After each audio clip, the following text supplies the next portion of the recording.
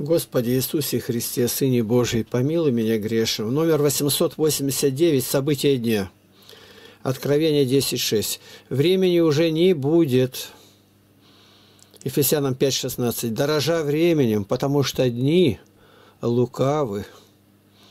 Это за 23 мая 2018 года. 1 Коринфянам 7, 29, 31.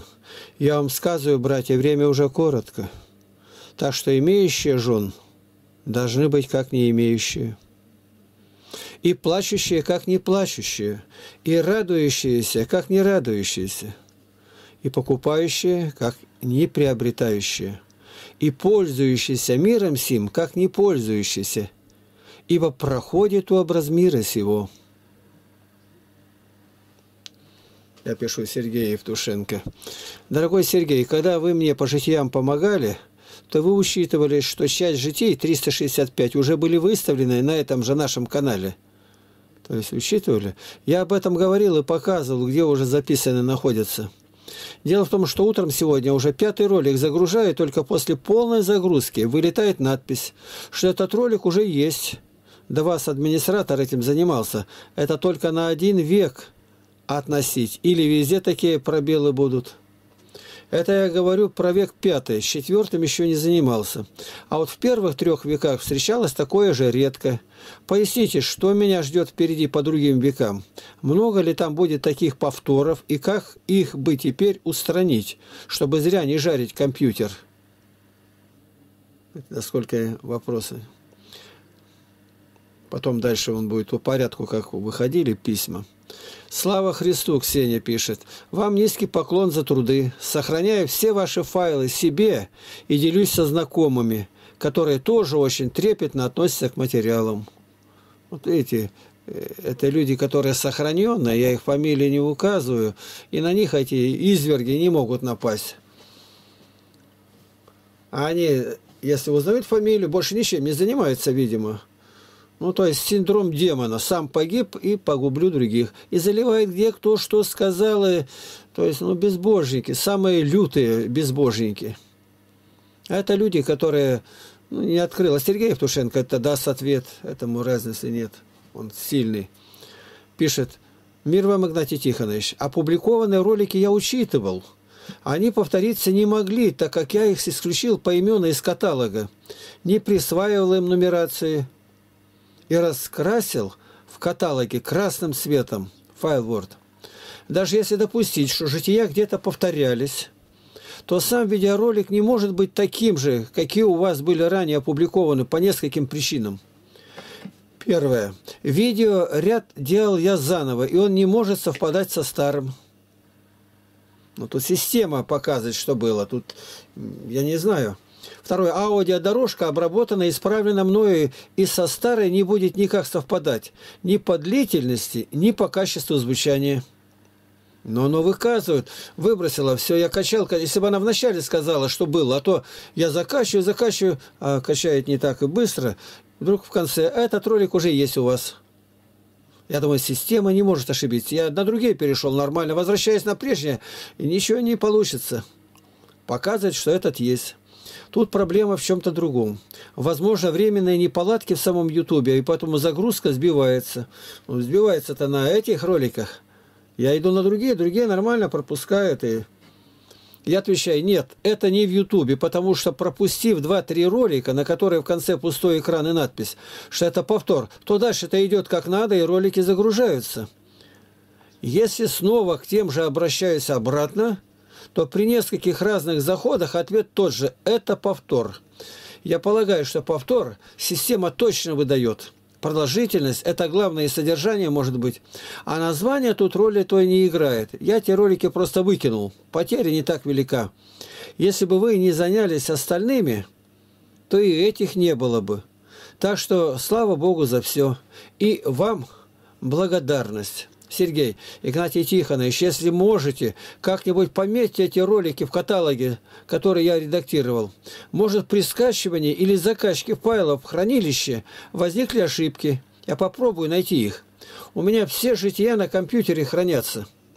Вот этот каталог. В принципе, этого не должно было случиться. Я много раз проверял файл это, но все равно. Лишний раз, как говорится, не лишний. Я отвечаю, вот это ваше беспокойство мне дороже всего. Приятно слышать все это, но ничего делать, что говорите, не буду. Там много чего есть, и крохотульки-то никто не заметит, ну, там жития святых двух не будет. У меня нет ни времени, ни желания все начинать сначала и кого-то загружать.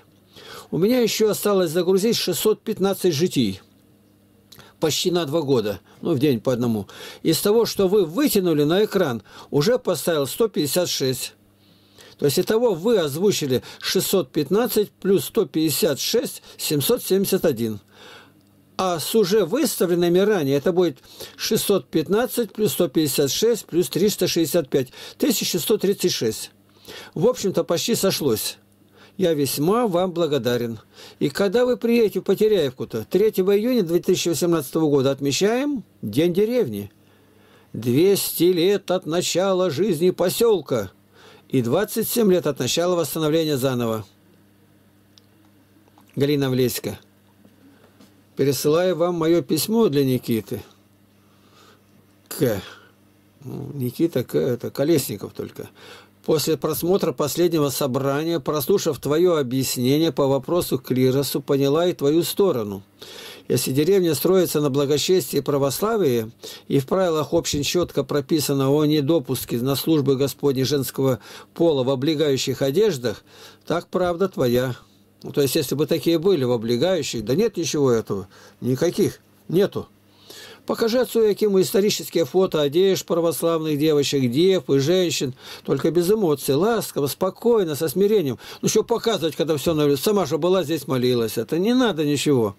Он, он прекрасно видит, какие надеты платья там шикарные, рифленые.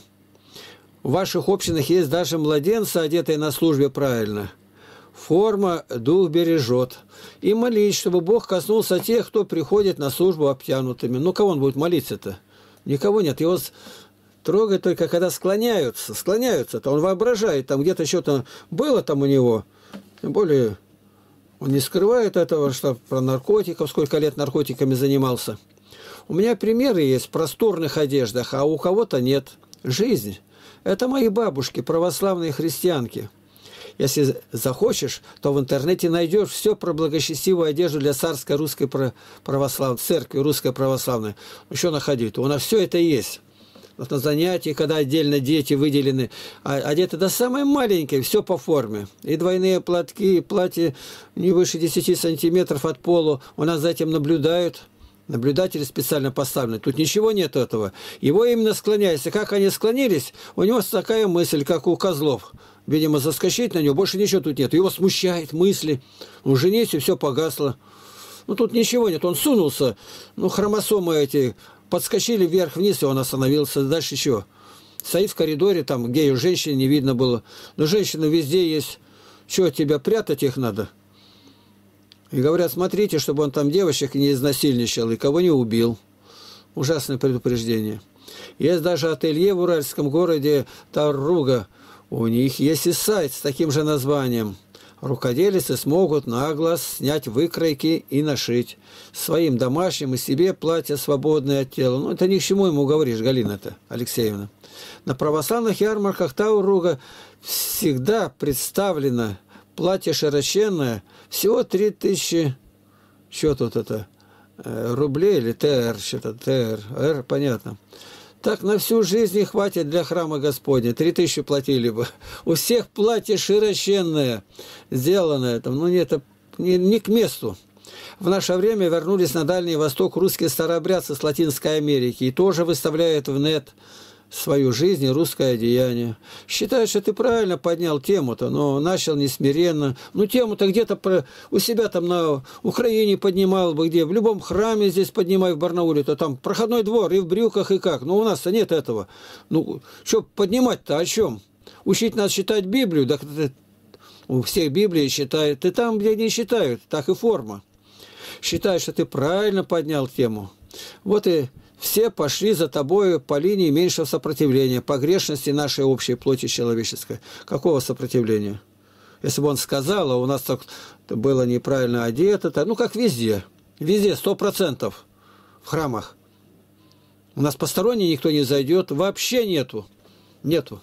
Даже вот здесь вот пришла бабушка, тут она по болезни, Игоря Добунова, и я показал, как тут же Надежда Васильевна юбку вынесла, она одела, она в брюках была, и пошли назад. Исторические моменты в женской православной одежде пока не исчезли со страниц истории. А наша женская тема и среди православных тоже больна феминизацией, то есть женской самостью. То есть женский дух будет сопротивляться. Наша сила в том, что у нас есть друзья и сохранившаяся история одежды благочестивого одеяния в церкви. Церковь Христову, где ни на одной иконе нет женщины в облегающей юбке и блузке, и девочки-мужчиницы в просторных одеждах, с любовью Галина Алексеевна Влеська. Учитывая нашу некатакомность и проповедничество, светом пересылаю наставнику ИТЛ. Устоять в скорби – наша задача с Богом. Я отвечаю, осталось за самым малым делом показать, что где в неприличной одежде в храме, конкретно у нас, на чем якобы и соблазнился отрок. Его ведь не одежда вела в ступор, а именно поклоны, когда женщины делают земной поклон. Тут совсем не о том речь-то, что вы говорите. Он к одежде не имеет никакого значения-то. Не должны женщины быть здесь. Рассмотрите все 21 тысячи фото в моем мире на моей странице. И покажите, где соблазн в одежде. Платье не выше 10 сантиметров от пола. Он на поклонах женщин себя видит, очевидно, как козлы из стада Лаванова, поднимающиеся на кост. Он ведет речь в одном направлении, чтобы женщин как-то отгородить от его взгляда. Когда они поклоняются до земли, тогда он внутренний взор свой якобы и поднимет сразу на небеса. Решение самое простое. Теперь он стоит в притворе и читает устав. Галина Влеска отвечает «Аминь». А мы переведем, как разведчики, тему в правильное русло, не о поклонах и взорах Никиты Колесникова, а о свободной одежде для храма в русло спокойное и рассудительное, и сестры проявят свою милость к свободному платью. Да, не к нашим сестрам-то, опять же говорю. Да и Никите будет урок правильного поведения в общинах. Наказание сей отрок выполнит – Лечит любовь, она превыше всех благодетелей. Эх, досталась нам изуродованная и стерзанная церковь женского рода, родная наша русская церковь. Заботливая наша мать, не отторгнем ее, с терпением и рассуждением будем исправляться. За 30 километров, в трех часах, в три часа утра моя бабушка, умершая, видно, Наталья с женщинами бегала босиком в повседневной одежке в церковь на праздники. В котомке клали правильную одежку и сапожки красные спереди на шнуровке. Прошло менее века, и кого мы видим? С асфальта приходят в чем в миру. В том и в храм вываливаются. Нет примера, либо как все. Господи помилуй. Каждую службу плачу, взирая на приходящих. Молиться научила меня моя мамочка, и благодарю Бога за все. Простите Христа ради. Небольшая ремарка. Помните про фото на природе с выдвинутыми языками и изгибами у березки-то? Далее, кто постояльцы у Игоря Дыбунова-то? И вот тебе бабушка Юрий в день. Клирос.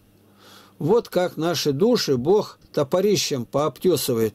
Так что НК, участник этой связки, но многим усилить бдительность. Береженого Бог бережет, мудрость народная – что же Бог хочет всем этим сказать?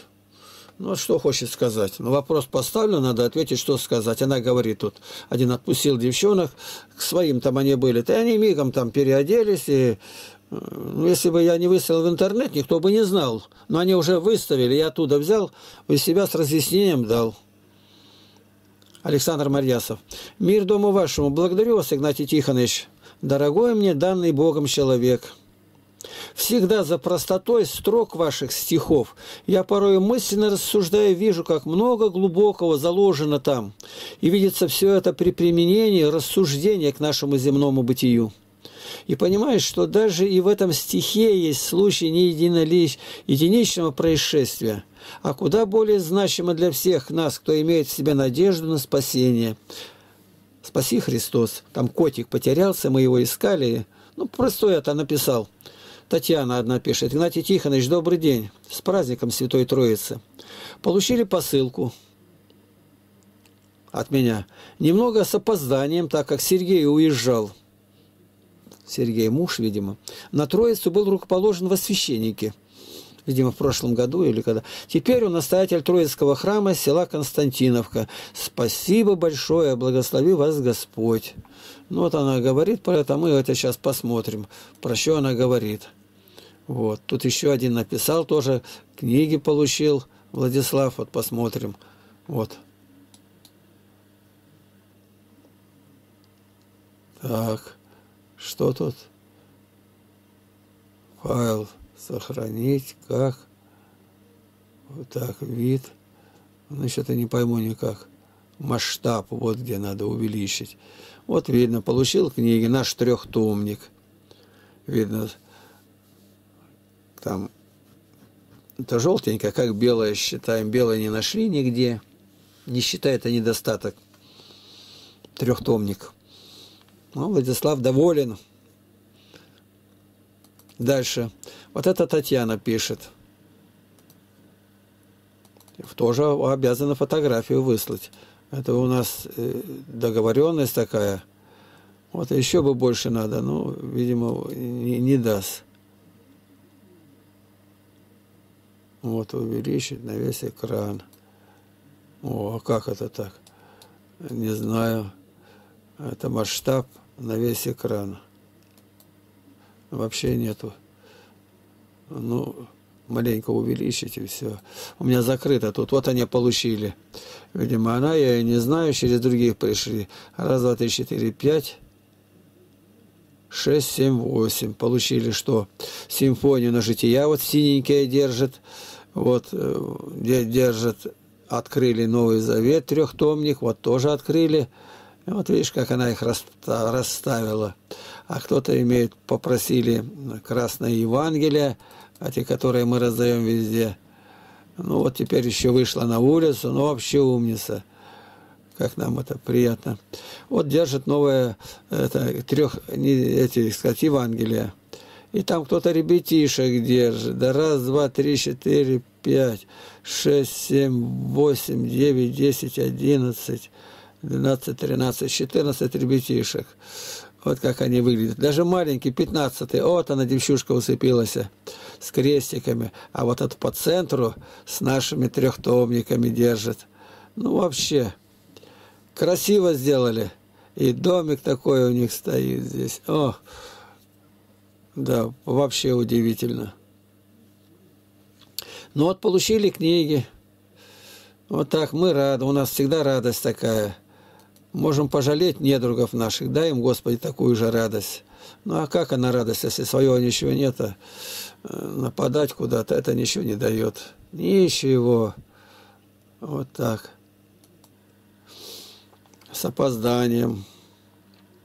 Олеся пишет, что Здравствуйте, уважаемый Игнатий Тихонович. Помогите, пожалуйста, разобраться. Меня сильно волнует вопрос о святом крещении. Я была крещена в пятилетнем возрасте на дому. Еще понятно, что крестили меня не полным погружением, а через обливание. Шли годы, в церковь постоянно не ходила, но по прошествии многих лет стала интересоваться духовной жизнью, спасением души, стала ходить в храм, исповедоваться, причащаться христовых тайн, считать святых отцов, псалтырь, ездить в паломнические поездки – и вот я познакомилась с православным человеком, который хорошо знает Святое Евангелие, считает святых отцов, в особенности древних, Василий Великий, Григорий Богослов, Иоанн Златоуст. И вот он сказал, что раз меня не погружали при крещении, а только обливали, значит, я считаюсь некрещенной. Мы стали разговаривать на эту тему со священниками. Они подтвердили, что истинное крещение возможно только через полное погружение. Повторяю, этой женщины я не знаю, и никого не знаю, с кем встретились, священников не знаю, но уже идет работа какая-то. Плоды, как я радуюсь, и которые получали, в конце концов, выходят, я уже много лет рассылаю везде, а крещение. А почему священник тогда наставит? Ну, сам не крещеный поп, что он будет, как у Лескова, не крещеный поп называется. Я не находила себе места, так как хочу спастись. Все вышеперечисленные древние отцы православной церкви подтверждают то, что крещение человека возможно только через полное погружение. И вот я решила креститься полным погружением. Священнику, который дал согласие крестить ты меня по канонам православной церкви, апостольским правилам-то, я все рассказала, что когда меня крестили в пятилетнем возрасте, полного погружения не было. И вот 19 августа 2017 года, в день преображения Господня, в 35-летнем возрасте я крестилась на реке Свияга. Хочу отметить, что священник меня помазал миром. Однако после этого последовали сильные искушения. Возникла неожиданная большая ссора с родителями, в которой они чуть не отреклись от меня – и потом меня стали смущать в интернете видеоролики, в которых огромное число священников утверждает, крещение через обливание тоже действительно, а креститься второй раз ни в коем случае нельзя. Почему? Да они не крещеные. Я называю, пираты захватили корабль. Их слушать никак нельзя. Волки в овечьих шкурах. Говорят превратно, чтобы за собой увлечь. Деньги, деньги, деньги. Это враги Церкви Божией, враги Христовы. Но как же так? У меня было действительно только одно крещение, это в августе 2017 года, где я крестилась полным погружением. Я права. еще меня стали смущать два момента. Сердце почему-то стало менее чувствительным, и после крещения в 2017 году меня помазали миром. Я настаивала на этом, потому что не помнила, в пятилетнем-то возрасте помазали меня или нет. Подскажите, все это смущение, это уловки сатаны – Простите за столь длинный рассказ, но мне хотелось поподробнее. Заранее благодарю за ответ. Вот это заранее благодарю за ответ никак не принимаю. Как благодарить, когда я, может, не отвечу? С уважением, Олеся, в крещении Александра. Александра. Город Казань. Конечно, от сатаны это все. Уловки сатаны. Твердо вере благодари Бога. Плати десятину этому священнику, который крестил тебя. Вот, чтобы он знал, что мы любим священство. Поздравляю тебя, Александра, бывшая Леся. Ну и что, свои ресурсы скинул, показал где. Ну, благословен Господь. Вот то, что можно было сегодня показать. И наши ресурсы надо показать. Вот они. Это первое, что у нас э, мой мир, вот где я в шапке просто без голубя. Тут можно переписываться, вот почта есть к истине 2 собачка mail.ru. Вот. И потом очень хороший форум. Мне один звонит вчера, и у вас так это сделано, вроде плохо. Давайте я вам сделаю, я специалист. Я говорю, у нас большие специалисты это делали. Очень удобно пользоваться. Я смотрю много форумов, иногда ну, лучше нашего нету. Нету, просто мастерски сделано. Легко искать. 1600 тем. Ну, а Тут-то что, тут одинаково все, наверное. Православный видеоканал. Вот. 19 615 подписчиков и 19 миллионов 409 тысяч 782 просмотра. Вот 11 100 с лишним э, роликов наших стоит. Ну и во свете Библии православный библейский сайт. Я где-то сказал однажды, да может не однажды уже говорил, ну, долго я искал узнать, ну почему священство противилось переводу Библии на русский язык. Ну как можно было противиться-то? Вот никак этого понять не могу. Ну и сколько я не бился, и, и наконец нашел. Нашел, и теперь я взял и опубликовал об этом. Это э, такой человек был – сказал, что если революция будет, митрополит Филарет, Филарет, но тут не другой, не тот, это амфитеатров, который сказал царю, говорит, если Библия будет переведена на русский язык, как говорят, капец нам, в стране будет революция. Люди поймут, что всю историю мы вели людей совершенно не туда – и сегодня вдруг это меня спрашивает Сергей Козлов. Где? Кто сказал-то это? Мне охота знать. Я ему выдвинул материалы вот какие. Немножко почитаю, немножко. То, что я нашел, успел, это искать-то трудно. Это все в моих книгах в открытым оком есть. А это все-таки 33 тома по 752 страницы. Я утро тут много потратил время. Павский Герасим Петрович, протеерей, родился в 1787 умер в 1863 жил 76 лет. Выдающийся русский ученый, филолог, экзегет, переводчик Библии, основоположник русской библейской исторической школы. В 1821 году ему была присуждена степень доктора. Я не буду читать дальше, а буду протаскивать, читайте сами.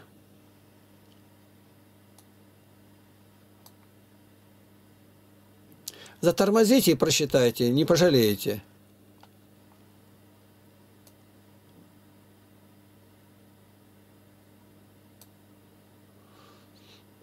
И вот здесь как раз говорится про Филарета.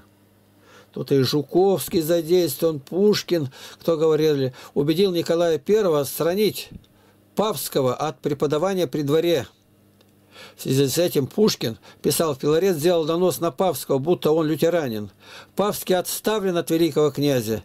Жаль умного и доброго священника, по свидетельству современников, наследники и его близкие прощались с Павским со слезами чтобы воспитанник царских детей не посмотрели ни на что. Ну и вот дальше здесь это считайте по порядку. Белинский тут писал. Ну что, это очень важное дело-то было. Какую роль сыграл этот Филарет амфитеатров? Вот он.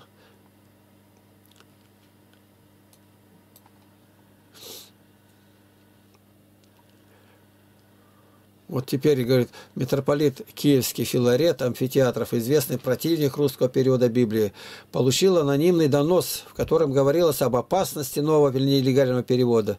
Автор доноса был, как позднее выяснилось, Агафангел Соловьев, являясь сторонником самой идеи перевода. Вот так, источник соблазна. Считайте все это.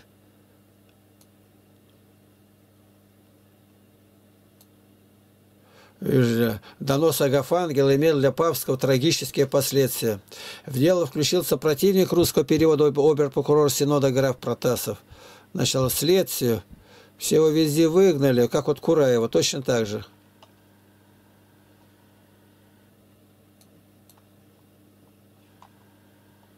Просчитайте. Филарет амфитеатров сказал это.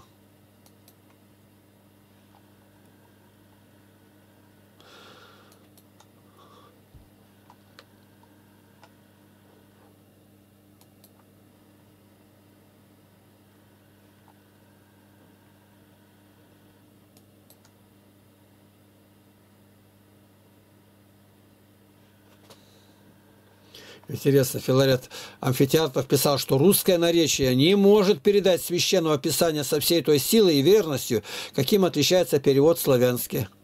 Он опасался, что народ, получив русскую Библию, охладеет храмом, подчеркивал иностранное происхождение идеи перевода и видел здесь опасную политическую подоплеку.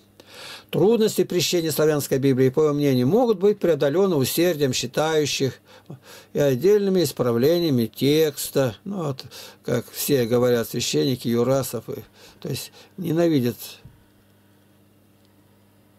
Все эти доводы были полностью разбиты митрополитом Филаретом Дроздовым в его докладе. Ну и дальше с царем все связано было. Сергей парализованно пишет «Спаси Христос». Теперь митрополит Филарет Амфитеатр писал, что русское наречие. Вот так.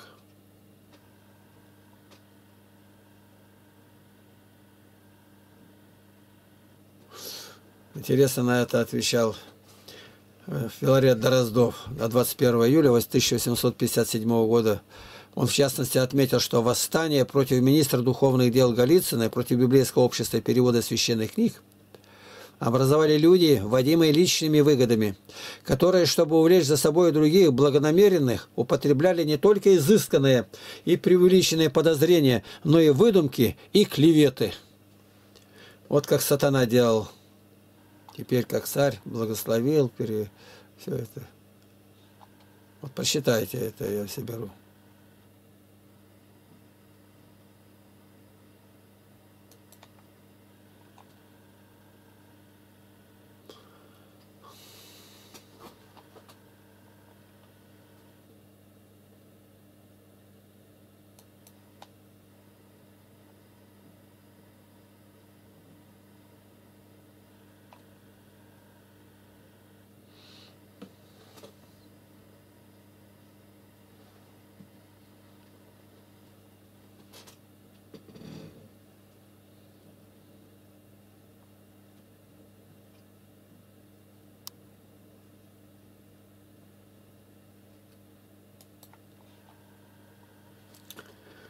Да, вот так пришлось все это ну, показать, рассказать, скинуть. Ну, на сегодня, считаю, все. Во славу Божию.